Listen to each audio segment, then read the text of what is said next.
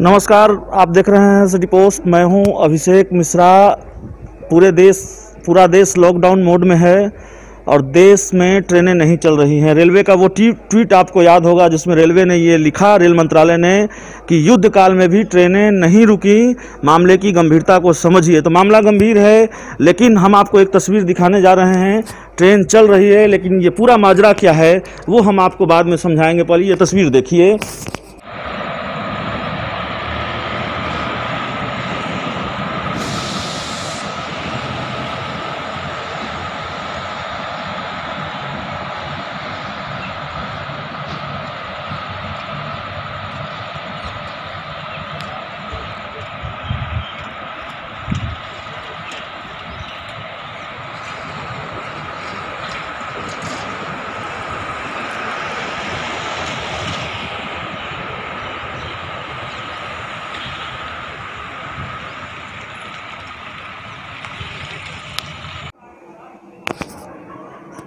मतलब रेलवे के स्टाफ के लिए चल रही है सर।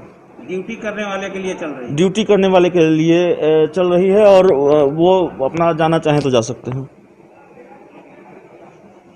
तो आपने देखा ट्रेन चल रही है और इस वक्त हम पटना से सटे दानापुर स्टेशन के पास खड़े हैं और पटना जंक्शन के बाद अगर किसी दूसरे रेलवे स्टेशन पर जा, सबसे ज़्यादा ट्रैफ़िक हुआ करता था तो यहाँ पर हुआ करता था। सुनसान है वीरान है। अ, हम समझने की कोशिश करेंगे सर ट्रेन चल रही है। ट्रेन नहीं ट्रेन मालगाड़ी चल रही है।